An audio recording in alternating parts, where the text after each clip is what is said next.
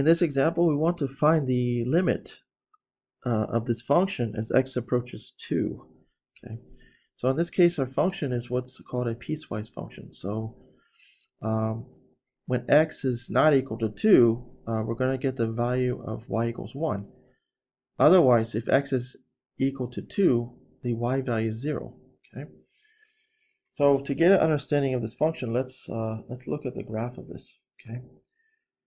So so when x is exactly equal to 2, uh, it's going to be uh, equal to 0, which means at that point it's going to be on the x-axis.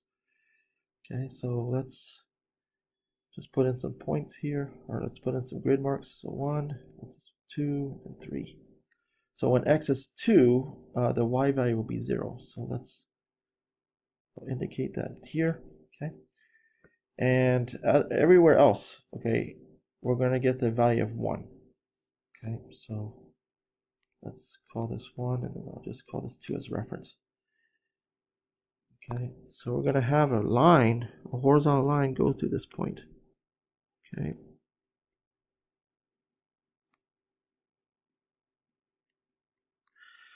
Okay, and then right here, okay, there's going to be a jump. Okay, so this is not, so let's see. So there's going to be a jump here. Okay. So this is actually, there's an open point here. Okay. So this is y equals to 1. Okay. So it's going to be y equals 1 uh, for every value of x except 2. And then when it gets to 2, the value of y will be 0. Okay.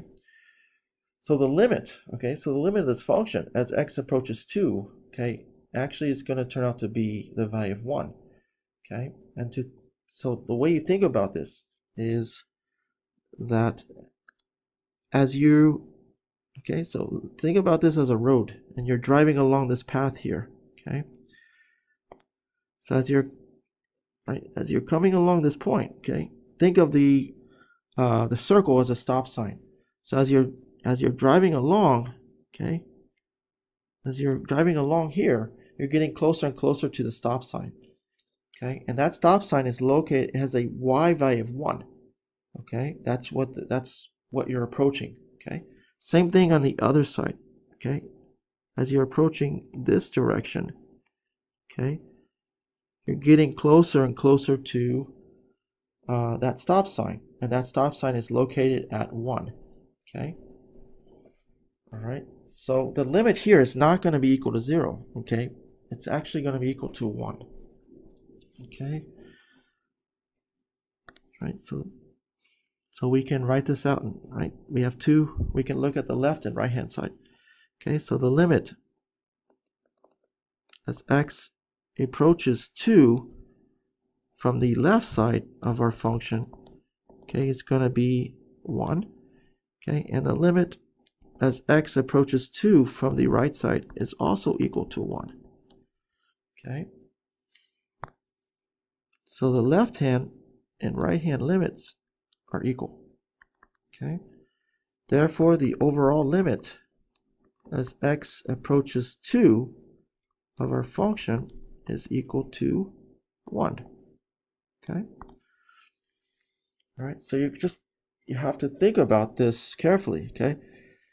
So think about again, think about as you're as you're moving along the graph, okay, it's and you're getting closer and closer to the limit point, okay, to the limit. Um, and you can think of that as a stop sign. So you're getting closer and closer to the stop sign.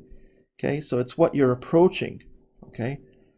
And whatever wherever that is, okay, whichever y value that is located, that's the value of the limit. Okay. All right. So you have to be really careful of these, especially with piecewise functions.